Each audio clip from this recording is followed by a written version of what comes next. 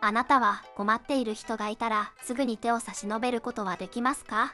太平洋戦争期に首相を務めた東条英機は部下の私生活まで面倒を見るほど人情に熱い人物でした。連隊長時代のある時、部下の佐藤健良が妻の手術代に困っている部下を助けたいと秀樹の家を訪ねたことがありました。そこで秀樹は妻の勝子に何かを伝えると彼女は風呂敷を持って外出し、勝子が帰宅すると秀樹は快く金を貸してくれました。この時、勝子の着物を質に入れることで金を工面したことを悟った佐藤は、これ以降秀樹に対して一層の忠誠を誓ったと言われています。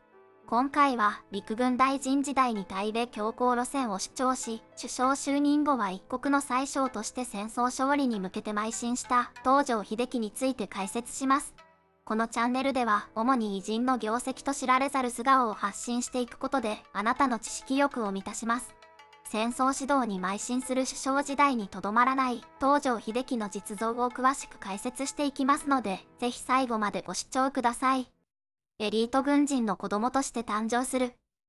1884年7月30日、東条英機は陸軍軍人の子供として東京で生まれました。父親の秀則は、なんと陸軍大学校第一期の史跡。将来を嘱望されたエリート軍人でした。秀樹もそんな父を見て育ち、陸軍地方幼年学校、中央幼年学校、士官学校と陸軍軍人の道に進みます。幼年学校時代は図画の授業で丸を30ばかり横に描いた絵を提出し何かといえば文房が壁にかかっているところと答えて叱られるような生徒でした。しかし9 u 7 8名くらいと喧嘩して袋叩きにあったのをきっかけに勉学でなら大人数相手にも勝つことができるとして勉強熱心になったとか。1905年陸士17期を10位で卒業すると歩兵少尉に任官しました。日露戦争も終盤でしたが、第15師団好きとして満州に出征もしています。東条青年の滑り出しは好調化に見えましたが、父秀則は出世に陰りが見えていました。彼も歩兵第8旅団長として出征しますが、敵の意図を見抜けずロシア軍を取り逃がすと、病気を理由に内地に更迭されてしまいます。さらに、陸軍主流派である山形有友や寺内正武と正面から衝突したことで、疎まれた秀則は陸軍中将昇進と同時に予備役になりました。この結果に、秀則は長州罰による恣意的な人事だと怒り狂い、その憎しみは息子の秀樹に引き継がれることになってしまうのです。家族の喜びと挫折の苦しみ。1909年25歳で伊藤勝子と結婚。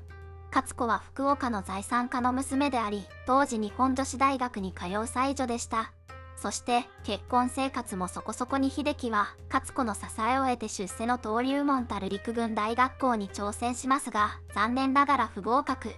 勝子と母千歳の仲は悪く彼は仲裁役をしていましたがそんなことしている場合じゃねえ。と父母と別居して勉強に専念します。しかし、再挑戦の受験も失敗すると、それを見かねた先輩の永田鉄山や小畑敏郎、岡村康二の指導を受けるようになります。有名な話ではありますが、昭和日本の歴史に大きく関わるビッグネームが揃ってます。そして1913年、3度目の正直で陸軍大学校に入学すると、東条家はお祝いムードに包まれました。また陸大受験中に長男秀隆が生まれると自ら牛乳を飲ませお召しを変えていたとか。小煩悩な優しいお父さんの一面です。勝子夫人が熱を出した時は彼女に代わって秀樹が子守をしましたが次のような冗談を言っています。女は家の中にいて気楽なもんだと思っていたが半日でコリゴリだ。そして二人で笑ったとか。欧州に留学し順調に出世する。1915年31歳の時、陸大27期を11番で卒業。すでにこの世を去った父秀則の志を継いでエリート軍人の道を歩み始めました。1919年には、ドイツ駐在により第一次世界大戦後の欧州を視察して見聞を広めます。この時に、先輩の永田、小畑、岡村の三少佐がバーデンバーデンで開いた会合に参加し、陸軍改革に関して意見を交わしています。4人言うバーデンバーデンの誓いですが、悲しいことにこの仲良しグループは以降、熾烈な派閥構想を繰り広げることになります。ちなみに、秀樹は家族の状況を気遣い、遠い欧州の地から手紙や絵はがきを送っています。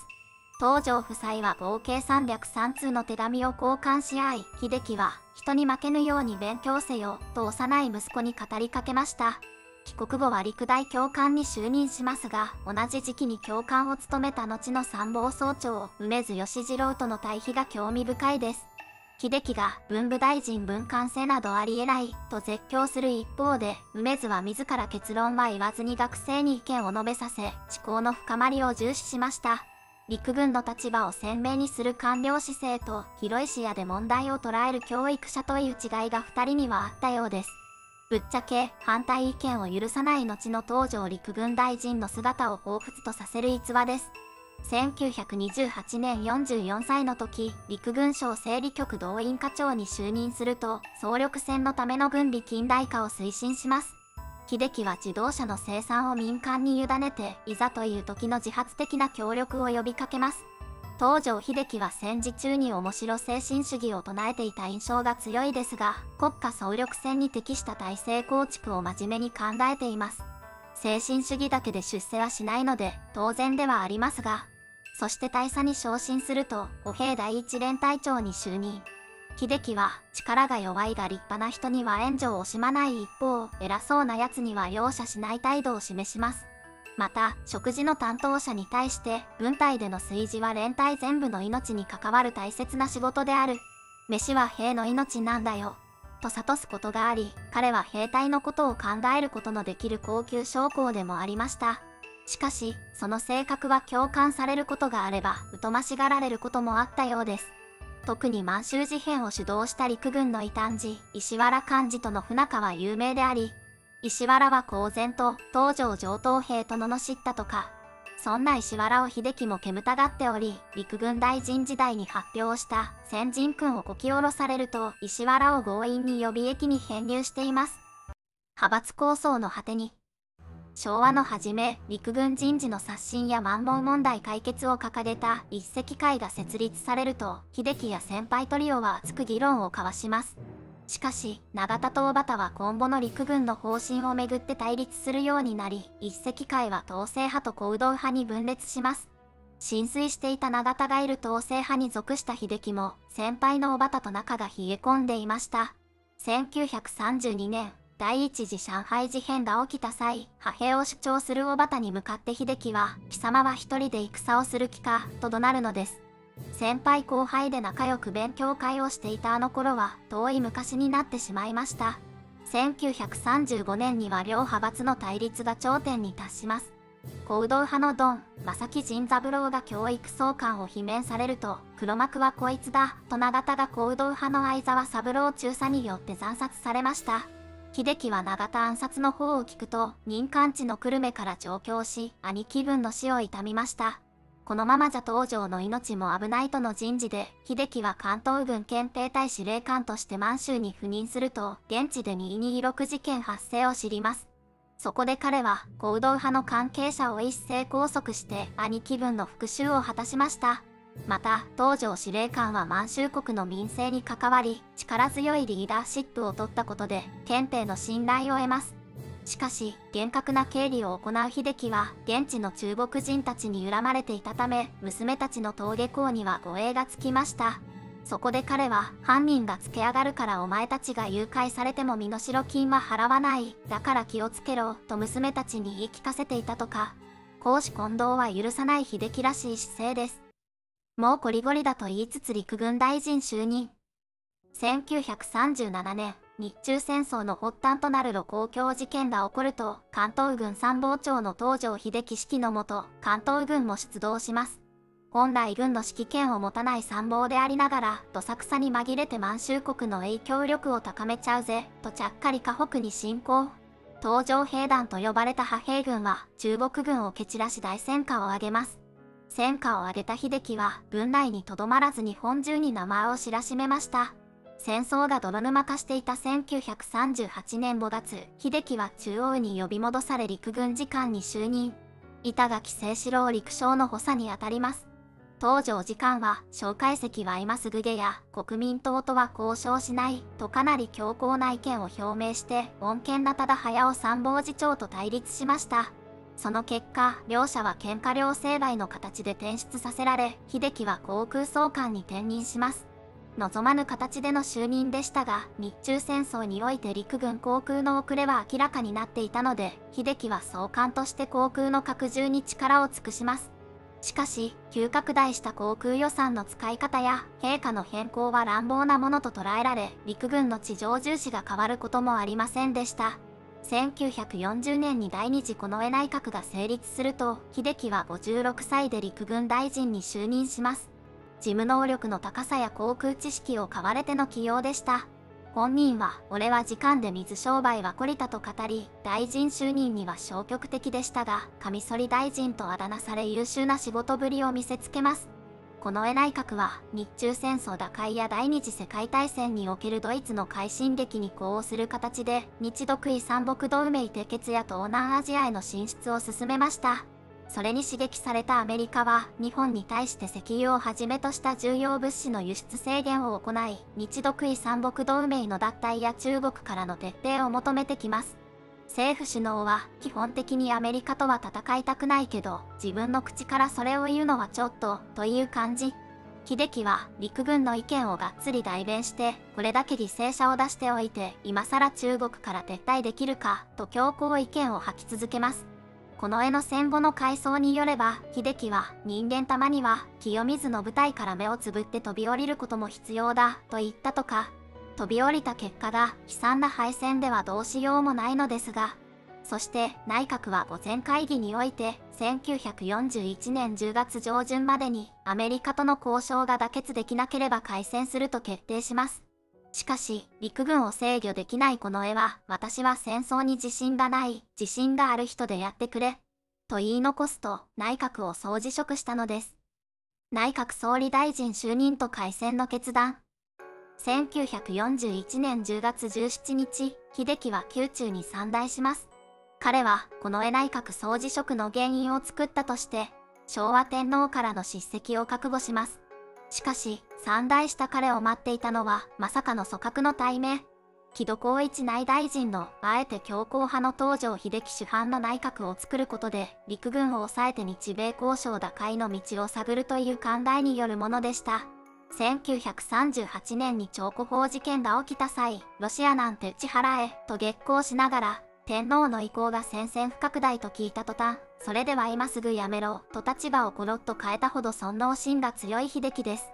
対名を断ることができず、自ら陸将、内相を兼任して東条内閣を発足させると、交渉打ち切りを白紙還元する命令を受け、戦争回避に力を尽くします。陸軍を統制するため陸将に、戦争回避後の混乱を鎮めるため内相を兼任した彼は、部下の作成した閣僚名簿を見ることはありませんでした。本日より陸軍だけの代表者ではない、陸軍の者は組閣に関係してはいけない。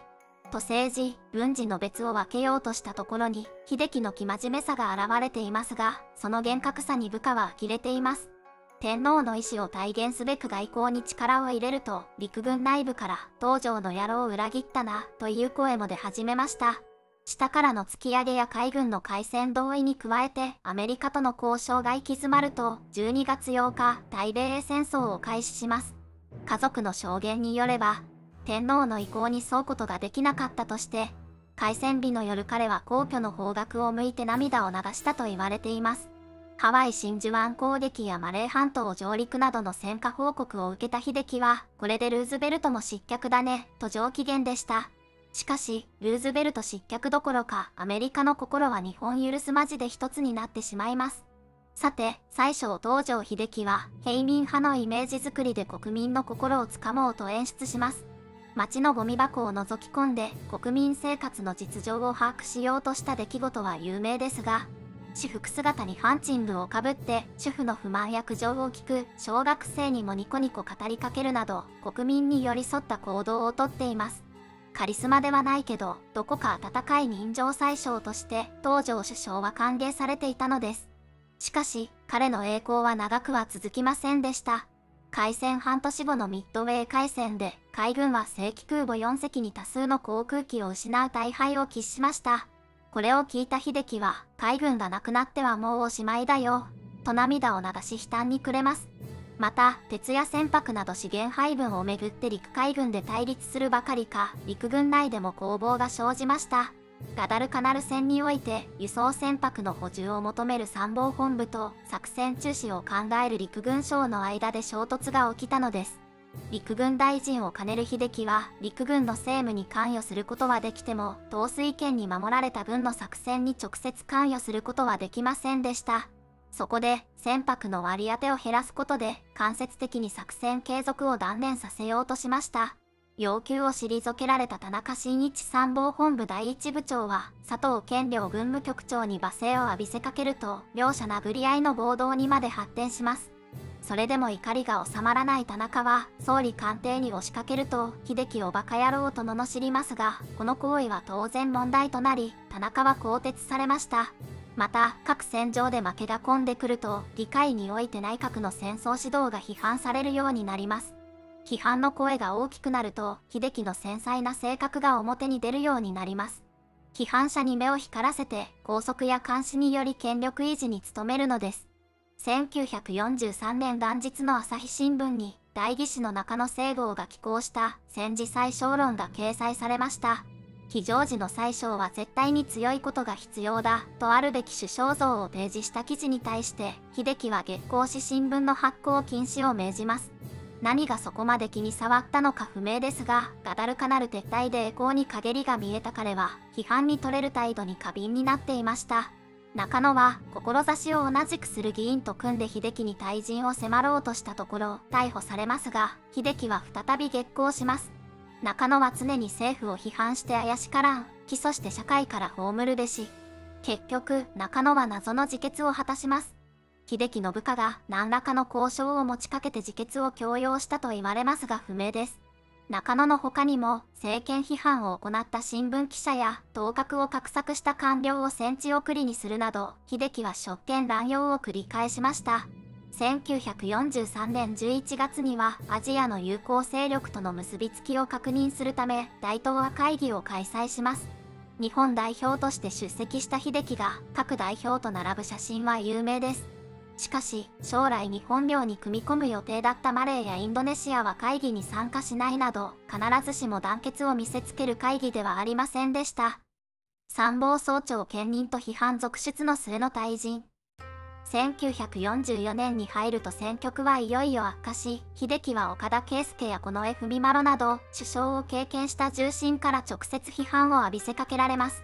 そこで、彼は重大な決断をします。軍政軍令を統一するため前代未聞の陸軍大臣と参謀総長の兼任をしたのです。非常時ではあるものの今までに例がない措置に杉山はじめ参謀総長は反対しますが天皇の意向をもって押し切りますさらに海軍も同様の措置を取るため島田重太郎海軍大臣は長野治軍令部総長を説得すると大臣と総長を兼任しました。ここでも従来の生真面目さを発揮した秀樹は陸軍省と参謀本部を行き来するたびに参謀職長をつけたり外したりしていたと言われています。ともあれ、批判覚悟の措置はそれなりの効果をもたらしたようで、大本営内における事務が非常にはかどるようになったと支持する声もありました。それでも首相陸将参謀総長の兼任は業務の統合ではなく秀樹の役割が3分割されただけであり戦局が好転するわけでもありませんでした。むしろ彼の権力集中は当確勢力の動きを活発化させ岡田は秀樹に忠実な島田会将を辞職させることで東条内閣打倒を狙います。島田辞職後に海軍が内閣に非協力的態度を取れば東条は辞めざるを得ないだろうというのが岡田の読みでした。さらに陸海軍内で東条首相暗殺計画が練られるようになり当確して勝てるならしようとしてやると代議士も公然と政権批判を行いました。民間では米機を撃つなら秀樹も撃てなどと流言が飛ぶ始末。そこで秀樹は内閣改造により延命を図ると総理級の人物を入閣させることで手こ入れしようとしますが壁が立ちふさがります。閣僚の岸信介がポストを開けるための大臣辞任を拒否したのに加えて閣僚入りを予定していた米内光政の入閣交渉に失敗したのです。身体極まった秀樹は7月20日に総辞職して後任を小磯国明に譲り予備役入りすると終戦まで自宅の世田谷区洋画で過ごします。秀樹としては失意のうちの退陣でしたが、穏健な形での退場により暗殺されずに済んだのです。よかったですね。終戦反対と永久戦犯としての最後。開戦して戦死者を多数出しておきながら辞めるとは何事だ、との声もありましたが、秀樹は終戦まで存在感を表すことはなくなります。公職から離れた彼は自宅でひっそりと野菜作りに精を出すおじいさんとして過ごします。そんな秀樹が約半年ぶりに参代して戦争に関して意見を述べる機会が訪れます。1945年2月、天皇は重臣から今後の戦争指導に関する意向を聴取します。近衛文丸が有名な近衛上層文を読み上げたのもこの時です。この場で秀樹は和平工作は敗戦しそう、敵が船を増産するなら、こちらは特攻で対抗する、と強硬意見をぶち上げます。自分が始めた戦争の敗北を簡単に認められない気持ちはわかるんですが、晩節を汚している感が拭えません。海軍出身の総理では陸軍はそっぽを向く。陸軍がそっぽを向けば内閣は崩壊だ。小磯内閣崩壊後に鈴木貫太郎内閣が発足した際は、鈴木に一種の脅しをかけたことで、岡田と喧嘩になっています。終戦間近の時期には、ポツダム宣言受託に関して、軍の武装解除に反対の上層をしています。殻を失ったサザエは中身も生きることはできないとのこと。一般に想像される東条秀樹って感じです。陸軍中堅将校を焚きつける彼の姿は2015年公開の松竹映画日本の一番長い日で丁寧に描かれていましたとにかく東条秀樹役の中島修さんの顔が秀樹に似ていますさて日本の敗戦で戦争が終結すると聖戦冠水を叫び東条本土決戦内閣を求める将校が東条邸を訪れますしかし秀樹は、大名を拝した以上、近江心に沿ってご奉公すべし、と説いて追い返しました。また、自決を進める人も多く、次男の照夫は職場から密かに家族全員分の生産借りを持ち帰り覚悟をしていましたが、秀樹は、開戦の責任者は自分だから、うっかり死ぬことはできない、と語り、安易に死を選ぶことはありませんでした。そして9月11日、米軍の MP が洋画の自宅に秀樹を逮捕しに来ましたが、彼は拳銃で胸を打って自決を図ります。以前からプロとして捕まるなら自決することを匂わせており、それを実行に移したのですが、米軍の治療により一命を取り留めます。年末には他の戦犯容疑者と共に巣鴨プリズンに収監され永久戦犯として裁判を受けることになります。初めこそ暗い影を漂わせていた彼ですが、裁判が続くにつれて達観したのか、入浴の際に熱いお湯を騒いでかき混ぜる姿も見せています。裁判では、大東亜戦争は日本の自衛戦争であったという立場を貫き、アメリカが全く譲歩しなかったため、戦争になったと反撃する場面すらありました。また、秀樹は天皇に戦争責任を及ぼさないという重要な役割を担っており、陛下は首相や統帥部の進言にしぶしぶ開戦を同意されたと発言します。アメリカは日本統治を円滑に進めるため、天皇の権威を活用することを考え、天皇に有利な証言をするよう秘密裏に秀樹へ働きかけていたのです。彼の堂々とした態度は自殺失敗で地に落ちた評価を持ち直し、東条来さんの声を上げる国民も現れます。ちなみに、戦中、君に首相など無理だ、一日も早く辞任なさい、と言い放った石原は、戦後になっても秀樹を批判していました。東条には思想がないから対立のしようがないとか、あいつは死刑将校だな、兵器を整頓することは間違いないが、他はダメだ、根本的に性格が合わない2人は生涯交わることはなかったのです。そして欧米に対して開戦を決意した首相である東条英機の運命は誰の目にも明らかでした。死刑判決を言い渡された彼は1948年12月23日、他の死刑囚と共に刑が執行されました。去年64歳。現在は東京都の雑司ヶ谷霊園で眠っています。本日のまとめ。東条英機は東京でエリート軍人の息子に生まれると親の後を追って陸軍軍人の道を歩み始めます。順調に出世し、第二次近衛内閣の陸将に就任すると、対中強硬論を主張して近衛を追い込みますが、まさかの公認首相になります。